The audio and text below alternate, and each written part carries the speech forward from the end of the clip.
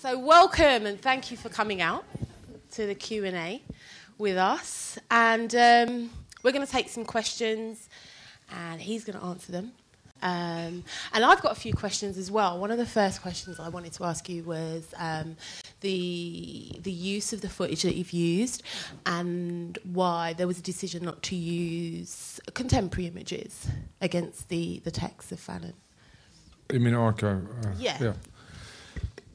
Uh, no, to me, I mean, this film started out.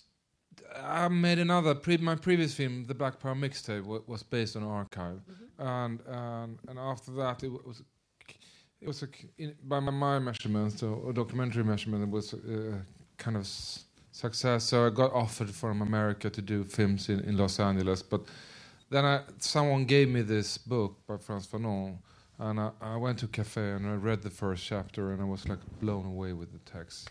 So I moved to another cafe and read the last chapter, and and, and uh, um, because I skipped the you know, the middle, and, and I wanted to go yeah. So I was I'm, uh, I'm amazed. That I couldn't you know, and I said to my producers, "This is a new film. We we can't do anything else." And I have a, memory of me reading Fanon when I was very, very young, but I'm not sure about if I read about him or if it was actually a book. Um, and and also, I think I have to say the first thing here is that I think that th- this text is uh, partly directed to people like my European people. It's an outreach, a cry to the European people to to to try to understand what's going on under the European, the West, now American, Chinese as well, um, helmet or whatever you say. So it, it I thought it was it, it, was appro- appropriate for me to take on the challenge to transform this non-fiction book into a film. Uh, other works, which I think actually is more important by Frantz Fanon, is, is Black Screen, White Mask, which is not for me to touch upon at all. Uh, but I think it, it made sense. But I'm, I'm the last person being a Swede and I'm middle aged and I'm, I'm really not educated. Uh, I didn't, I couldn't get into university, so I, I'm kind of happy I, I was, you know, uh, confronting with, Buddhist texts as as a 47 year old and not a 22 year old in university. Yeah. Excellent. Any questions from? The, by the way, if you ask a question, you will get a um, the text. So uh, the text is quite amazing. So please do ask some questions. I see some hands. Christian. Thank you so much for the film. I'm just wondering, do you know on a governmental level if there's anyone that's talking about reparations in a serious way? No, no, no. I no, there is no such thing, and I think that's a dream, and I think it, it's, it's. Um, I think that would be appropriate, but the first step is to to stop the robbery and the stealing of natural resources and minerals and labor from from uh, from the third world, so-called. Stop that. That's good enough. You know, you don't you don't have to pay anything. Just stop the robbery first. Uh, yeah, I mean, for me, it was like the biggest copper mine in the world. Copper is not like any other metal. It's in every electric devi- device. Device, and the biggest copper mine in, in the world is owned by a and run by a Swedish company in Congo and they don't employ anyone from from the local community. They take Sri Lankese worker, fly them in, and they have no connection to the community whatsoever. So they learn the lesson. They don't allow people to found, uh, to get families, have unions. Uh, that's crap. You know, they could be on the moon basically, and that's very important for the the world to have free trades of goods and labor in in that sense. Super important. It's a, it's the law. Exception number one you can't go from the southern shore of the mediterranean to the north shore. That's the exception. Uh, to me make no sense. Either you have to let the resources be by the communities who, who lived with them for a long time or you have to have this but you can do whatever you want you can go to sweden and start a blah blah blah you, you know uh, but they have double standards and it's super annoying Um, I'm trying to keep track of everybody's hands. This gentleman here in the, at the front. Thank you for the film. Uh, fantastic, powerful, enlightening. I just want to ask a question because I work in a school, um, and considering this film is available, you know, you can watch this film at 15 years old. I can imagine some of my students watching this and having some very different and difficult responses, um, considering many of them are from African descendants. I think many of them are European as well, and I just wanted to think about as a maker of this film, how do you feel the desired response to it is, particularly if you're young, particularly if you've been indoctrinated with what is the colonial education, which is obviously the complete flip side of what we've just seen. Because um, I, I myself coming across this when I, as an older person has been difficult and brings up a lot of kind of I don't know unresolvable in some ways uh, issues or feelings, what, what, what would your advice be to a young person trying to deal with this kind of colonial weight in history? Have no advice to anyone. You know, it's it's not for me. You know, I think they could do their own math. You know, uh, their response is fine for me. Uh, I don't know if you can. Uh, I think um, we were having a conversation outside, and the way I understand what you're saying. So, it's, I mean, but it's not for me the way I see the film is that it can be built upon. It can be something, it's a discussional point. It's getting people to understand what happened, what's still happening, and what can we do. The last part, he's saying, you know, we need to make new discoveries, we need to establish new um, concepts to create a new human being. And we can get very bogged down by firefighting, constantly fighting this, fighting that, fighting this, fighting that. But this is something that can be built upon. And I think the, the difference between why I would support something like this, such as concerning violence, as opposed to um, the exhibition at the Barbican, because that is quite dehumanizing and this is quite empower, um, empower, empowering. And Fanon's work, it doesn't matter where you are or what you try and do, you're always going to encounter some form of violence, psychological, physical, it's always going to happen. So it's something that can be built upon. And even with someone as young as 15, this, you know, 15 year olds are very, very intelligent, and sometimes we probably don't give them as much credit as that's due. But I think this is a good dis- discussional point for them. Maybe not to watch it all in one part, but bit by bit. That's my two pence. I think you know this better than at least me. I mean, you're working with us yeah, definitely. The lady in the yellow, and then the guy in the blue, and then the guy in the black, and, and then you. Yes, I see. I see. Yes. Um, I want to say thank you to both of you um, so much. Um, firstly, to you, Sara, because I've seen all the work you were doing through August, through September, and I was really inspired and very touched by thank it. Thank you. Um, and also to you, Gora. And this film has been incredibly moving, and I find it so honest of you to say that you you also feel that it's for people such as yourself who may not have a, a, a direct link to it ostensibly. Um, I think that's an incredibly honest thing to say. My main question is um,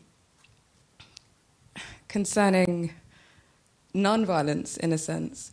We often, often the freedom fighters who are praised and uh, paraded are the ones who talk about non-violence and sort of um, a very sort of soft and warm way of looking at uh, e- equality. Um, and I, I personally feel that sometimes this is almost as much as a, an imp- a, a block towards progress as those who are, you know, clearly on the other side of of seeing things in terms of not wanting to have equality. So, how do you um, feel that people can be opened up to seeing things in a way that this documentary presents violence, not as a sense of revenge, but as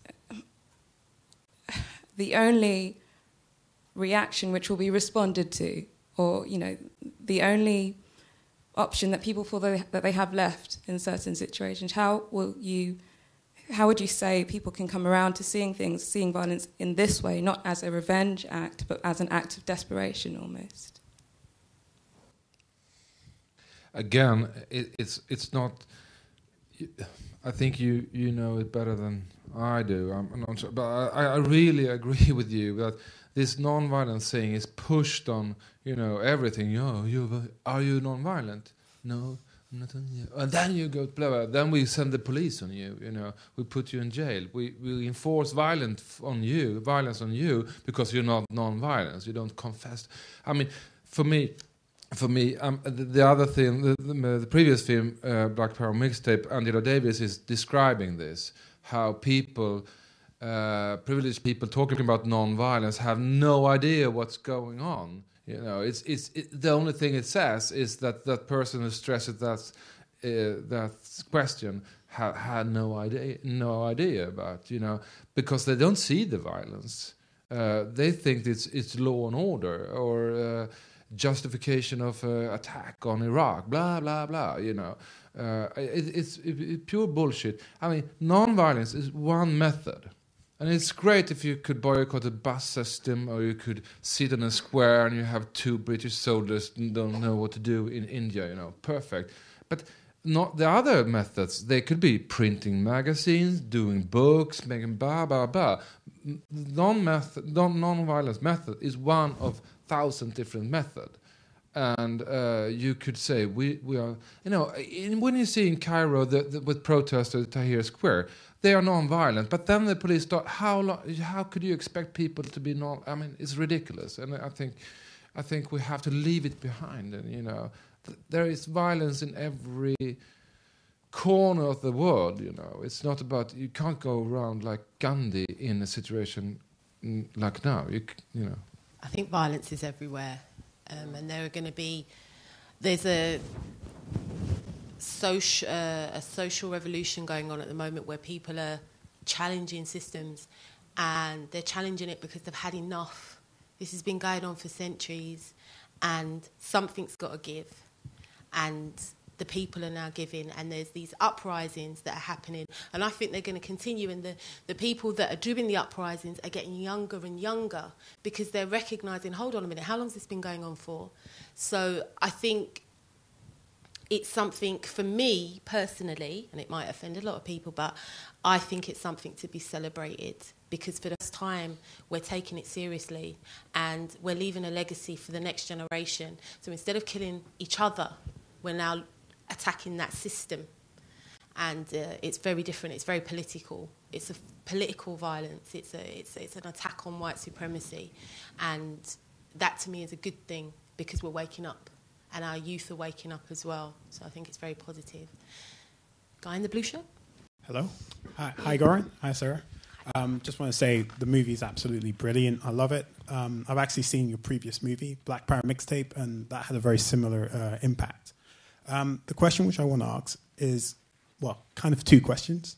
Um, the first one is, what is your rationale behind this movie and even the Black Power mixtape for that matter? As in, what are you trying to achieve? What kind of message are you trying to portray? What are you trying to get out of the audience?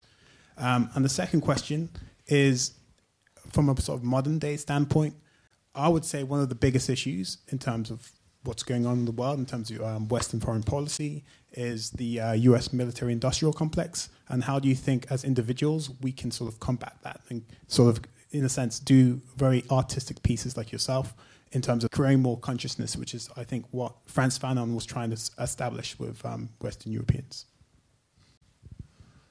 Thank you. I'm tempted to say I'm just a filmmaker.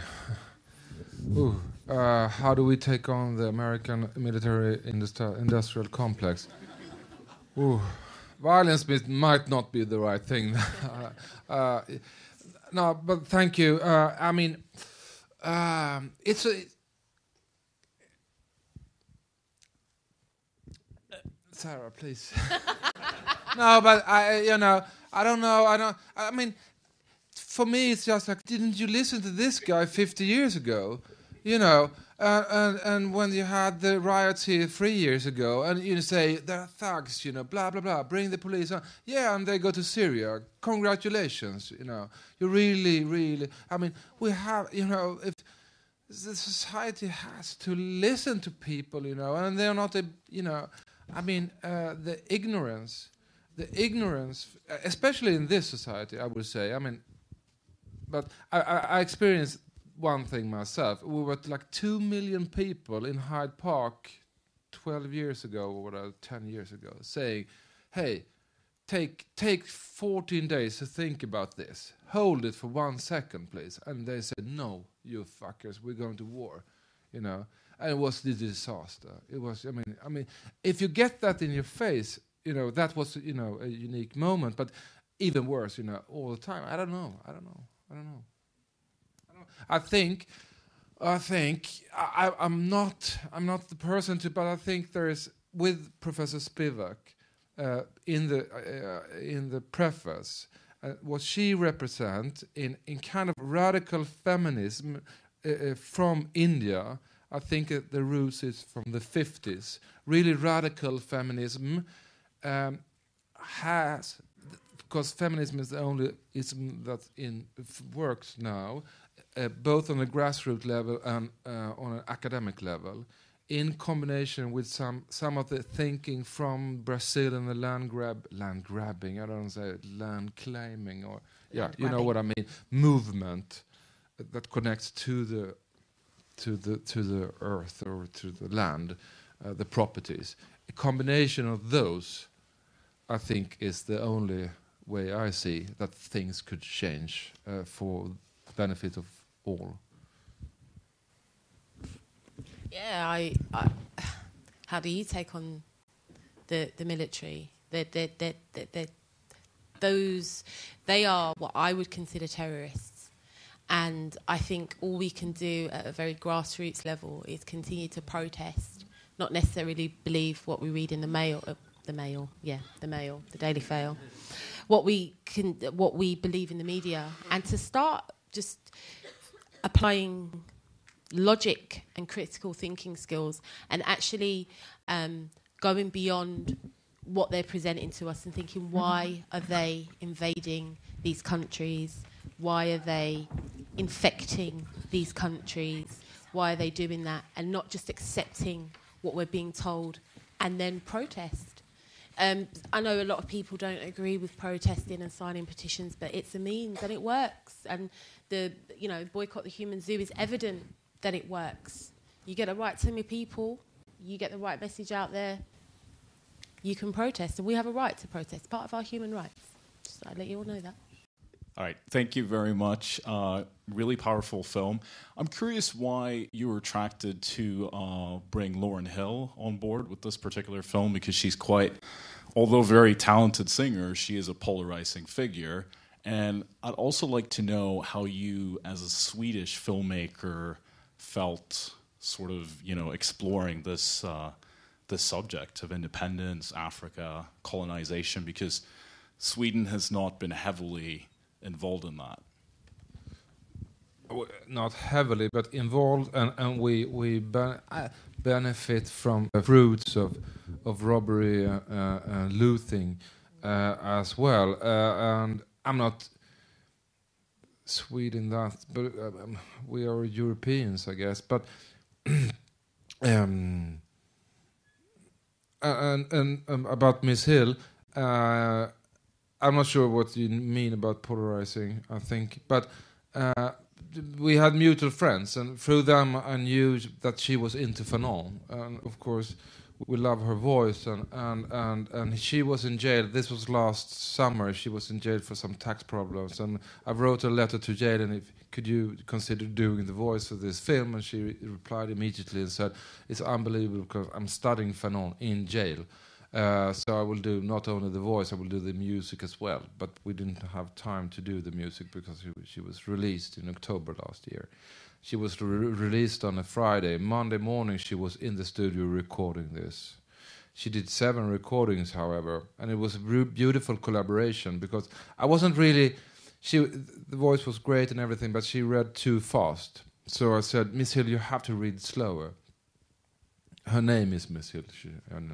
So uh, you have to read slower because, yeah. But she said to me, no, no, you, you have to understand. When I read this text, it's 400 years of oppression that releases from me. It's a, it's a revelation, and a revelation is a, always a celebration. As a celebration is always up tempo.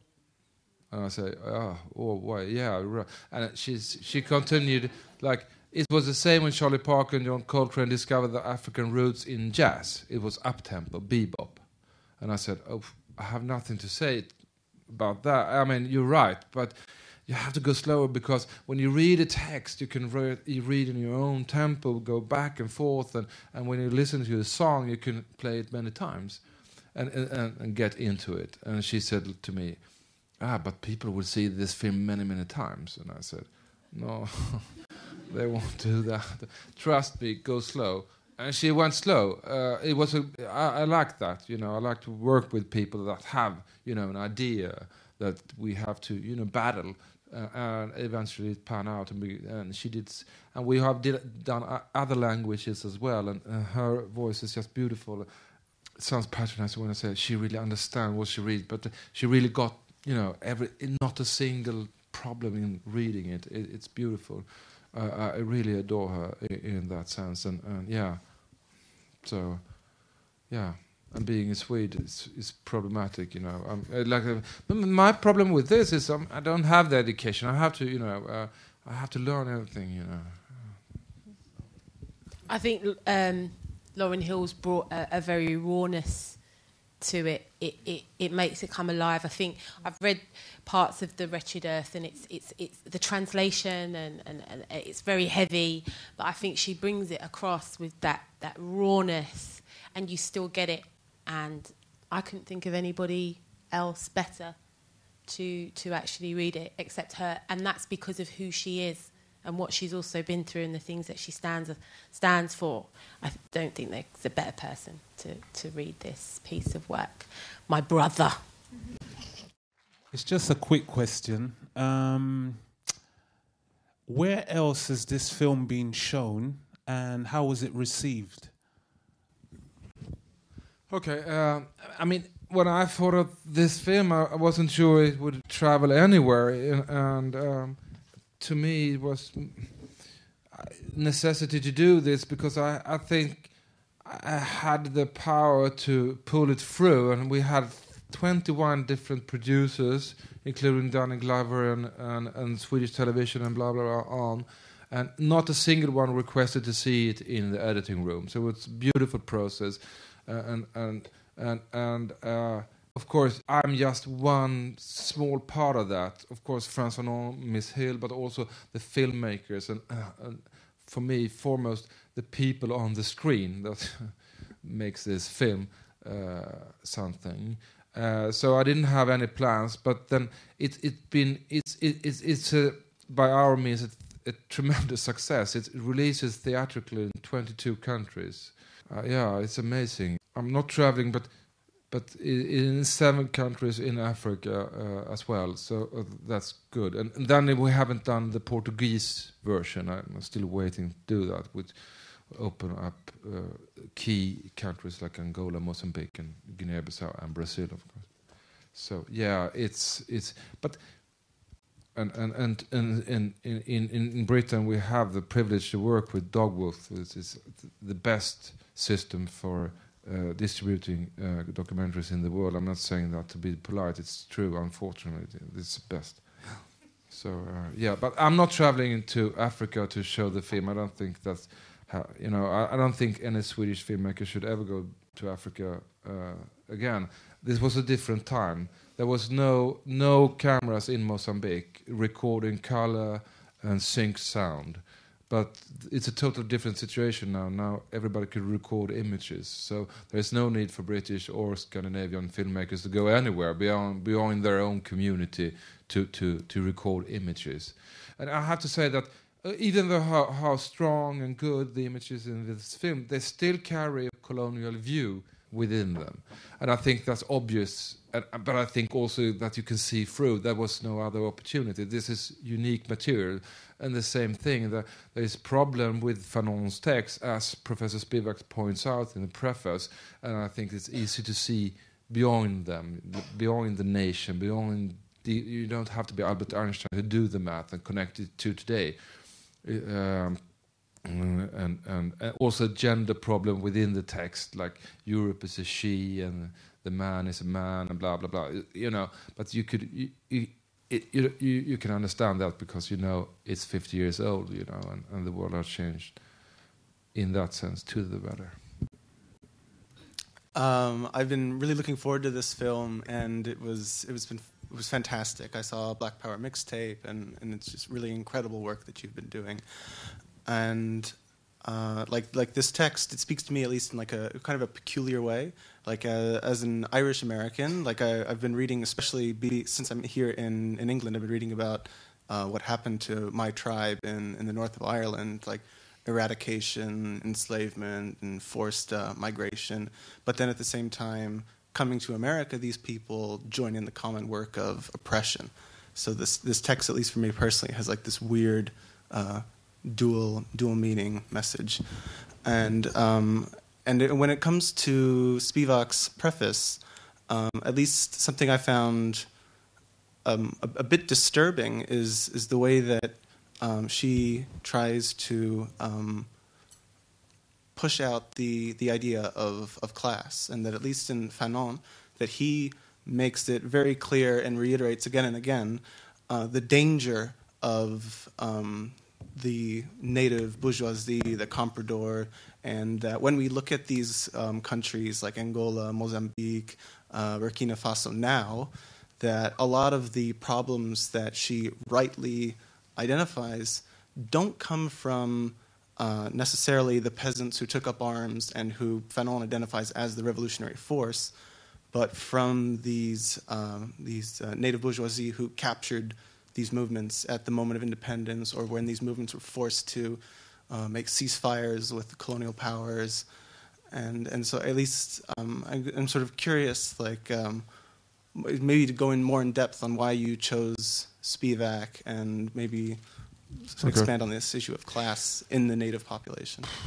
I, I, I don't think I, I, agree with your criticism on the class thing with Spivak, but uh, since I wanted to do you know, uh, the cinematic version of this non-fiction book. Uh, uh, the the book is mostly published with the preface by Jean-Paul Sartre, which is, is is is really bad and been a burden to the book and the idea that he carries all the time. And you know, everybody agreed with that, even at the time. So I wanted to have a preface, and I wanted to have someone who was a philosopher and and uh, could put the the Fanon and the film in context. And I'm really happy for what she uh, are saying, and and and, and she's criticizing Fanon and the film in a kind of unique way that you criticize your own film before it starts. So and and and uh, it opens up because you, you have to see, you know, beyond the. Um, the and behind between the lines uh, also. So I think I think uh, and she points out this because what she referred to the Frelimo army was the first army and the last who had female. Uh, maybe not Israel it now, but uh, female commanders uh, with male soldiers under them. You have always had female battalions you know, the, uh, like you have black but then you had female officers commanding male uh, soldiers, and they even have a kindergarten moving around with them. But as Spivak pointed out, when the dust settled, this this goes back to um, the difference between the genders. So um, um, I don't I don't agree with you uh, in that sense. But thank you very much. Thank you, Diane. I just wanted to make um, a bridge between the issues about reparation and education mentioned earlier um, in relation to, I don't know if people are familiar with the work that Nathaniel, Nathaniel Coleman is doing at UCL at the moment um, in relation to critical race theory um, and his discussion about decolonizing education, de- decolonizing knowledge. And a really practical outcome of that, that I really recommend everyone goes and watches on YouTube, is Why is My Curriculum White? And in relation to reaching young people, and it's made by um, a young guy called Adam Elliott Cooper, who is at a PhD student at at the moment, um, and UCL students. And it's about 10 minutes long, and it's loads of voices, and it's in ways of taking this film forward into now and reaching young people and making them this is about university, but I'm I'm a teacher too, a secondary teacher, and to me it speaks back to what we should be doing. It makes me think about what I'm presenting to my classroom because I'm the product of a colonized education myself, and I have to rethink all the time what am I bringing to my students. It's a really good bridge forward, and it's a kind of um, someone spoke at another screening about what reparation meant, and it also meant repair. It wasn't about money, and that's a kind of repair that we can all do. It's about education. So raw. That's. There is, if you're interested in reparations, there is an organisation called INAP, um, and there is a lot of work being done by um, Esther Stanford, and um, I can't remember Kofi's second name, but Kush might remember it. Um, so there is a lot of work that is being done um, around holistic reparations for um, Africans in the diaspora and um, yeah, it's not just about money, so that's something you can probably have a look at in your own time. Thank you, fantastic film, and I really, really appreciated the introduction by Professor Spivak. Thought that was fantastic, so great. Um, but just you touched on it, but I was curious about why you made the decision to only include historic footage, and whether you have any concerns that that might lead people watching to think that that's something that's over that that colonization is finished? Yeah, um, thank you for asking that. Uh, my first my, my, first idea was to have contemporary uh, images, but I was I was afraid that that would lead to debate whether that specific si uh, situation in Nigeria and Delta or Pakistan or whatever you, that would be a discussion about that. So I wanted to have something more general did I say this already? Yeah, we we, yeah. we kind of spoke like, about that. Uh, this is my fourth Q and A this weekend, so uh, it's like uh, did I? No, so yeah, and then I even contemplated having a, a, black screen with white graphics, you know, just Lauryn Hill's uh, voice and and then animation and and, and, and but I, I, I think I moved back so. Um, to the the oil rigs, the the the helicopter, the guns, uh, they they are they are and mining equipment exactly the same. The robbery uh, equipment uh, is the same. So I don't think. Yeah, it's it's it's a it's a trade-off as a filmmaker. But my my dream is that people will. Sorry, Dogwoof, but download this film in in the future and take the take the narration uh, and make their own version because it's about a different. Uh, the beauty of the text is not that it is well written. Uh, other works by Frantz Fanon is more important, more well written. But he was dying. It's a desperate text. It goes in every direction. It's you, we, they, blah, blah, you know. You know and I think that's the beauty beauty of the text, and, uh, and it, it's desperate. And uh, um, so um, uh, uh, I lost it. Some of the to me, it's also about structural violence. How do you, how a human being react under structural violence? Of course, slavery and colonialism is you know the longest lasting uh, you know. Uh, uh, so, uh, but also it, it, it, some of the ideas here re re resonates to domestic violence. You know, uh, it could be, and I think that I think that this text answers a lot of questions. You, why do Hamas, in, in my opinion, throw this worthless um, uh, rockets into Israel? And why do Israel, again, in my opinion, react with that over, over, over the violence? And ultimately, how will people, kids growing up under that, react in 10, 15 years? I don't know, five years. I mean, so this is a text. If you do, I mean, uh, yeah. So, so uh, I'm aware of that, but I have no other options because if I would do it from Gaza today, for example, it would be, yeah. I think the issue is that people focus more on where it's happening as opposed to the wider context of why it's happening. Also, if you're not capable to do the math around this, you're not capable to do it anyway, you know, because we have it on the news all the time. So I, I think, yeah. Fabulous. Kush, this is my um, colleague, by the way. Can we give her a round of applause? Because she's come all the way from Birmingham with a broken foot. She's come all the way here. She's my bestest friend. Uh, greetings, everyone. Um, it's like a two-part question, really. When you was writing this um, documentary, who was your intended audience? And looking at your audience, does your audience represent who you intended to reach out to? It's easy to answer. Um, my my my audience is like Swedes like myself. I, I have no, you know, I couldn't speak to any other. And, and when I look at this audience, it's it's the audience of Frantz Fanon. It's not my audience. I'm, I'm just someone who who put his text together and with uh, with images. So, uh, yeah. You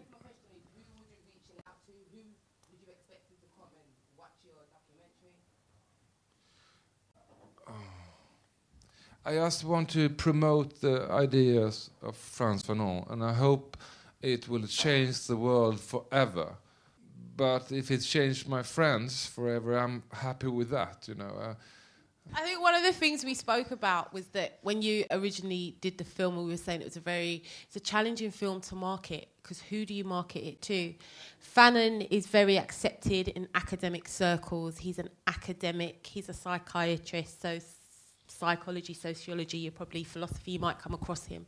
But an everyday level, probably people wouldn't come across him. And I think majority of us, if we're honest with ourselves, we came out because it's Fanon and we like his work. And so we want to see what this is about.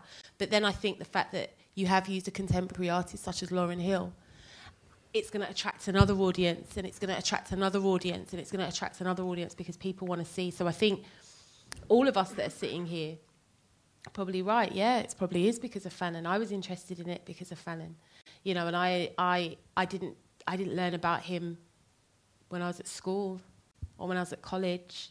I learned about him in my adult life. So, I think the audience is possibly, I don't know, I don't want to put words in your mouth, but maybe this is the intended audience. Yeah, exactly. I, I, I'm happy for every audience, but it's not like, uh, you know, and the Black Power mixtape was another thing because I found that material and I wanted to to people to see it. You know, in a, uh, this is also strong material, but uh, this is for me it's more the text. You know, and, and, but I, am I'm okay. it's not for me to. Yeah, I'm just happy for every one of you. Hi. Um, so Lauren was right because this is my second time seeing the film, and it was even more powerful the second time round. Thank you again. Um, I just wanted to. I just had an idea um, when we thought people have been talking about what this film is meant to encourage or what what effect it's meant to have on the audience. Um, and obviously, at the end of the film, you know, there's all that stuff about a new leaf and people coming up with new concepts. And I just thought, in terms of um, continuing the dialogue and um, kind of you know making this film affect people and have kind of some uh, sort of tangible impact. And it might be interesting to like see how people could respond to that. You know, what what people kind of you know how they react to the film, get people to do some writing or see what ideas can come out of this and contemporary ideas, people who you know can follow on from Fanon's work and bring new perspectives. So you know that you can kind of promote that the film to kind of show some of the impacts you know of how this can affect people's kind of way of thinking and how we can come up with new concepts and ideas, you know, and you can really see this film kind of doing its job. Is that anything you've considered? I agree, and thank you. Uh, um, no, I think people, as a, teachers and, and, professors are key in that, you know, and and, uh, we got a review in South Africa that this was Fanon for beginners, and I'm I'm totally happy uh, uh with that, uh, and and. Um, and I, you get strange reaction. I was doing Q and A via Skype from America the other day, and pe- there was one lady in the audience like, "Yeah, fine, but what would what, what I don't agree with the violence. What would uh, Nelson Mandela think about this?" And I said he was like, uh, you know, the leader of the armed wing at the ANC, and he was carrying this in his pocket when he was arrested. You know, people have this. So we need to cultivate, you know, and I hope soon enough it will be like the first reaction when when violence erupts. I mean, look what's going on in Nigeria. Fifty years of like pure robbery. You know, it's um, I mean, it's beyond words. Okay, well, it's interesting that you just spoke about Nigeria because I, I was just going to say you mentioned the idea that maybe logic and reason would be a way to continue the legacy, but it's quite interesting. He mentions the idea of myths being completely disregarded, and I know he doesn't mean it in this context, but the fact that conspiracy theories have become so important in West Africa now, I wonder what if you think that might be a form of empowerment for people, or is that a sign of disaster? I mean, in terms of Ebola, by the way. I don't know. I, I have, you know, people. I mean, I I couldn't speak for anyone else. I mean, I have no idea. They have a right to think whatever they want to. You know, I'm not more enlightened than anyone else. So, yeah, rest my case. Hi. Uh, yeah, really quick question. Lovely movie. Um, I first heard about it through a friend because he recommended Black Power mixtape, and I was just wondering because I saw it on YouTube uh, with Spanish subtitles. Because I'm Swedish and know English, I could see it. What's the easiest way to found, find Black Power mixtape here with English subtitles?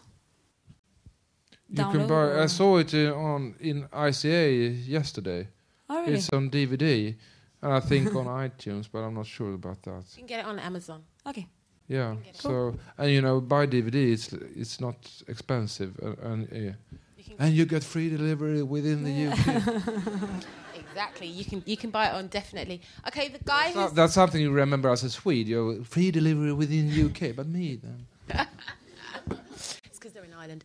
Um, um, the guy that's not my friend Phil. Do you think that there's a link between, as I say, the economic breakdown in Europe and our, well, I don't like to use the term third world because I think it's very contradictory. Developing country. Yeah, yeah, are the, and the development or the emergence of the development, of the developing nations.